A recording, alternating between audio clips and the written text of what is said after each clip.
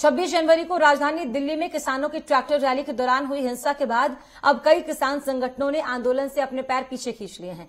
भारतीय किसान यूनियन के दो गुट कृषि कानूनों को लेकर चल रहे आंदोलन से अलग हो गए हैं, जिसके बाद दिल्ली नोएडा के चिल्ला बॉर्डर पर आंदोलन खत्म हो गया है। चिल्ला बॉर्डर का ये रास्ता अट्ठावन दिन से बंद था, जो अब खोल दिया गया है। पुलिस ने हिंसा के मामले में अब तक सैंतीस किसान नेताओं के खिलाफ केस दर्ज किया है। पुलिस ने किसान नेता दर्शन सिंह को नोटिस भेजकर तीन दिनों के अंदर जवाब भी मांगा है। साथ ही एफआईआर में पंजाबी एक्टर दीप सिंधु और लखा सिधाना का नाम भी जोड़ा गया है।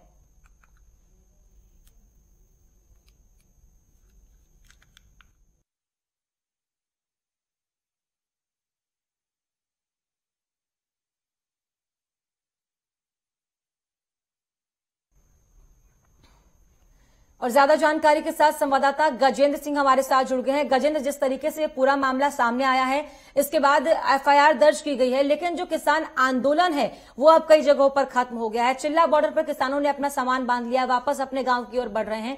इन तमाम चीज़ों को लेकर क्या कुछ और अपडेट?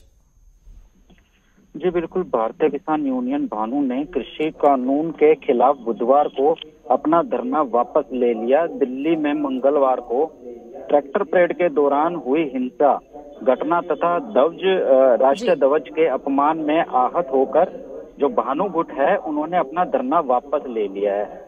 वहीं लोक शक्ति दल ने भी अपना विरोध प्रदर्शन जारी रखने की आ, बात ज़रूर कही लेकिन भानुगुट ने ज़रूर वापस ले लिया। और नोएडा यातायात पुलिस के अधिकारियों ने बताया कि आ, विरोध वापस लेने के साथ ही चिल्ला बॉर्डर के माध्य से दिल्ली नोएडा मार्ग जो है वो करीबन छप्पन, सत्तावन दिन से जो अवरोधित था, वो पूरी तरीके से अब खुल गया गया है।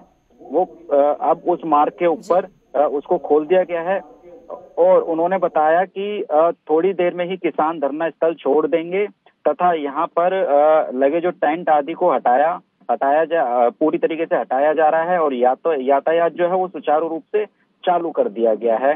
भारतीय किसान यूनियन के जो राष्ट्रीय अध्यक्ष हैं मास्टर सयोराज सिंह उन्होंने कहा कि एक्टर दीप सिद्धू लखा सिधाना का नाम भी जोड़ा गया। इसको लेकर क्या और अपडेट है?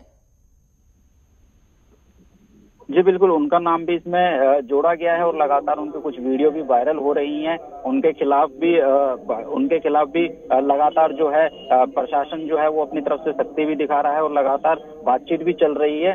कि जो कल एफआईआर हुई थी, हमने देखा था कि किस तरीके से जब दिल्ली में ये सारा घमासान किया गया था, जिस तरीके से ये हुआ, इसके बाद काफ़ी लोगों ने अपना नाम जो है इस से अलग भी करते हुए अपने गुटों को अलग कर लिया। इसमें ये ज़रूर दिख रहा है कि जिस तरीके से ये गुट अलग हुए हैं, उसके बाद ये कहीं ना कहीं कमज़ोर होता हुआ ज़रूर दिखाई दे रहा है। लेकिन कहीं ना कहीं जैसे अगर हम बात करें टीकरी बॉर्डर की तो टीकरी बॉर्डर के ऊपर जो किसान इस समय बैठे हुए हैं उनका कहना ये है कि हमारा धरना जो है वो लगातार जारी रहेगा और हम इस धरने को शांतिपूर्ण तरीके से ही आगे बढ़ाएँगे और धीरे धीरे उसको लेकर हम्म। चलेंगे। वहीं दिल्ली पुलिस ने लाल किले पर हुई हिंसा के सिलसिले में दर्ज प्राथमिकता में दीप सिंधु और दीप सिंधु के और लखा सिधाना के नाम लिए हैं। अधिकारियों ने जानकारी दी कि पुलिस ने भारतीय दंड संहिता सार्वजनिक संपत्ति को क्षति से रोकथाम अधिनियम और अन्य कानूनों की धाराओं के तहत उत्तरी ज़िले के कोतवाली थाने में मामला दर्ज किया है। प्रा, प्रा, जो प्राथमिकी